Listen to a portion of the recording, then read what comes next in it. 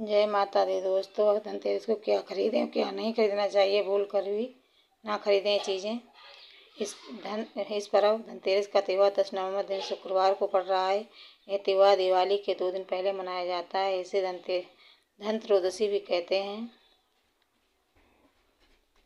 मानता है कि इस दिन धन और आयुर्वेद के देवता धन, धनवंतरी और माँ लक्ष्मी की पूजा करने से घर में सुख समृद्धि आती है, साथ ही घर में धन धान्य की कमी नहीं होती है।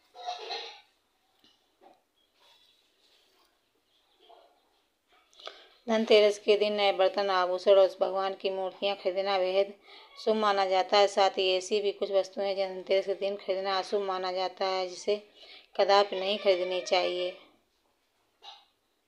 तो आइए जानते हैं धनतेरस पर क्या खरीदना चाहिए और क्या नहीं खरीदना चाहिए।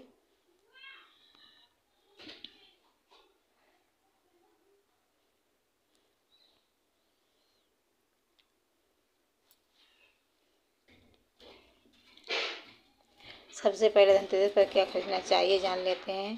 खरीदें ये नौ चीज़ें जो होगी, धन की वर्षा।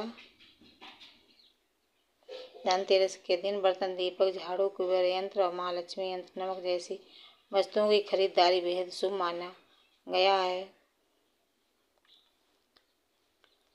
इन वस्तुओं के साथ भगवान धनवंतरी देवी माँ लक्ष्मी एवं कुबेर देवता की पूजा करने से घर धन धान से भरा रहता है और परिवार में सुख समृद्धि आती है।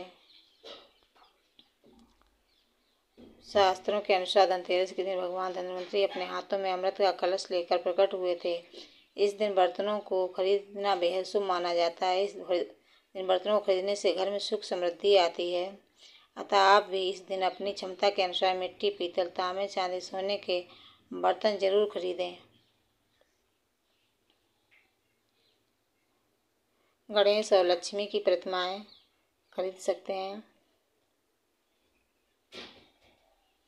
धनतेरस के दिन देवी देवताओं की मूर्तियाँ और तस्वीरों को खरीदना काफ़ी शुभ माना जाता है। धनतेरस के दिन, दो दिन बाद दिवाली पर भगवान गणेश और माता लक्ष्मी की पूजा होती है। इस पूजा के लिए इन मूर्तियों की खरीदारी धनतेरस के दिन ही कर लेनी चाहिए। कुबेर यंत्र और महालक्ष्मी यंत्र बहुत ही शुभ माना जाता है।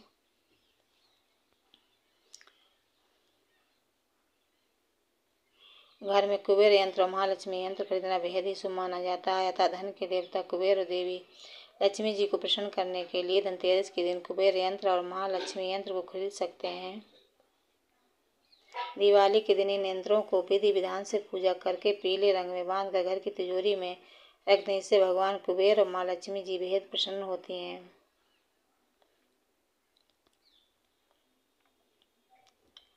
दिवाली प्रकाश का त्यौहार है। इस दिन दियों, यानी दीपक जलाकर भगवान श्री राम का स्वागत किया जाता है। साथ ही धनतेरस का पर्व इसीलिए भी खास है क्योंकि यहाँ एकमात्र पर्व जिसमें यमराज देवता की पूजा होती है घर के बाहर एम दीपक प्रज्वलित किया जाता है।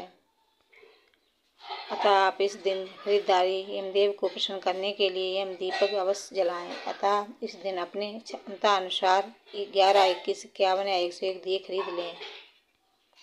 हमारे धार्मिक ग्रंथों में हर पूजा में स्वच्छता और शुद्धता को प्राथमिकता दी गई है। सामान्य रूप से भी अच्छे स्वास्थ्य के लिए साफ़ सफ़ाई को विशेष रूप से महत्वपूर्ण माना गया इसी दिन झाड़ू खरीद कर दिवाली के दिन इसकी पूजा अवश्य करें।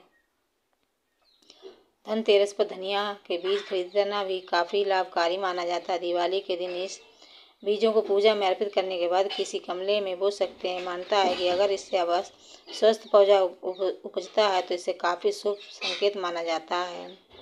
नमक इस पर्व पर खरीदी जाने वाली सबसे आसानी से मिलने वाली चीज़ों में से एक है। नमक को भी खरीदने से आपके घर में सुख समृद्धि का आगमन होता है। अगर आप आभूषण खरीदने की योजना बना रहे हैं तो धनतेरस इसके लिए सबसे शुभ दिन है। मानता है कि इस दिन खरीदने जाने वाली चीज़ों में कई गुना वृद्धि होती है। इसलिए इस दिन को किसी कीमती वस्तुओं की खरीदारी के लिए काफ़ी शुभ माना जाता है। आप भी अपनी क्षमता के अनुसार इस दिन सोने, चांदी के आभूषण खरीद सकते हैं। दिवाली की पूजा में सोने चांदी के सिक्के रखने का विशेष महत्व है। इसीलिए आप धनतेरस पर ही सोने चांदी के सिक्के खरीद कर घर में ला सकते हैं। इन्हें भी दिवाली की पूजा में देवता कुबेर के रूप में स्थापित किया जा सकता है।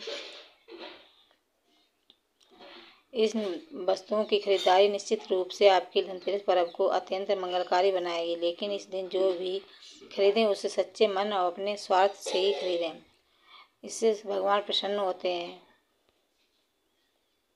अब आइए जानते हैं धनतेरस पर क्या नहीं खरीदना चाहिए। धनतेरस के दिन भूल कर भी ना खरीदें। पाँच चीज़ें माना जाता है। अशुभ। लोहे की चीज़ें। धनतेरस के दिन लोहे की कोई भी वस्तु नहीं खरीदनी चाहिए। मानता है कि इससे भगवान शनिदेव नाराज़ होते हैं। ज्योतिष शास्त्र के अनुसार लोहे की शनि देव का कारक माना जाता है। साथ ही धनतेरस पर लोहा खरीदने से धन कुबेर की कृपा नहीं होती है। अल्मोनियम पर राहु का प्रभाव होता है। इसे दुर्भाग्य का प्रतीक माना जाता है। अतः धनतेरस के शुभ त्यौहार पर अल्मोनियम की कोई भी नई चीज़ खरीदने से बचना चाहिए। धनतेरस के दिन धारदार वस्तुएँ जैसे चाकू, कैंची, पिन, सुई या कोई धारदार सामान खरीदने से बचना चाहिए। इस दिन नुकीली चीज़ों को खरीदना शुभ नहीं माना जाता। है धनतेरस के दिन इन चीज़ों को खरीदने से घर में कंगाली आ जा सकती है। धनतेरस के दिन प्लास्टिक की बनी चीज़ों से नहीं खरीदनी चाहिए। प्लास्टिक के सामान से घर में बरकत नहीं आती है। इसलिए धनतेरस के दिन प्लास्टिक का कोई भी सामान बिल्कुल नहीं खरीदना चाहिए। कांच का संबंध राहु से होता है, इसीलिए धनतेरस के दिन कांच खरीदने से बचना चाहिए। इस दिन कांच खरीदने से घर में बरकत की जगह मुश्किलें आ सकती हैं, इसीलिए धनतेरस के दिन कांच की कोई भी चीज़ ना खरीदें।